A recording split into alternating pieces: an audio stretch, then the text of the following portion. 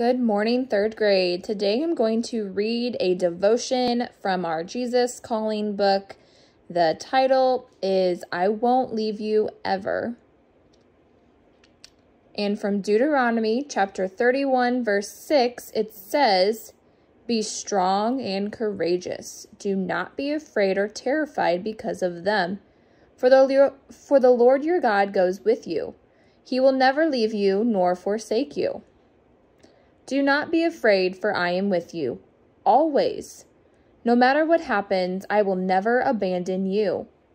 Think about that. Let that soak into your mind and heart. If you get angry and say something that you shouldn't, I'm still with you.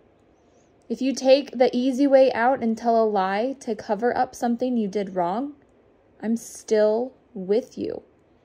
If you forget about me and try to live life the way that you want to, I'm still with you.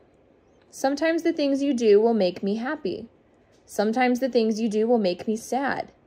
But there is nothing you can do that will ever make me leave you.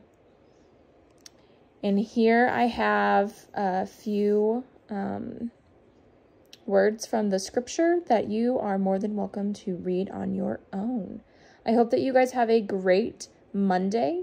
And if you need something from me, please let me know. Have a great day, third grade.